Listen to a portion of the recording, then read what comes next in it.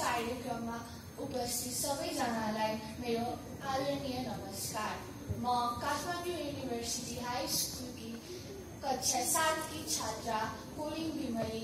आज हजुरहरूको सामु एउटा छोटो कविता वाचना गर्न चाहन्छु र मेरो कविताको शीर्षक छ बाल अधिकार। पाउनु छ सबैले समान अधिकार। पाउनु छ सबैले समान अधिकार किन भयो भेदभाव? बाल अधिकार।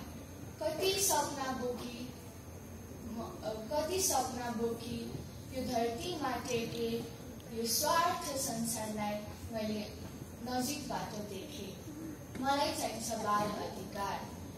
हुनु छ मलाई कमलको फुल गर्दिन म कुनै नराम्रो भुल जित्नु छ मैले यो संसारलाई बनाउनु छ स्वर्ग सम्मान यो धरतीलाई। मलाई चाहिन्छ बाल अधिकार। हामीलाई दिएको छ राम्रो ज्ञान र संस्कार तर हामीबाट किन छिनियो बाल अधिकार? मलाई चाहिन्छ बाल अधिकार।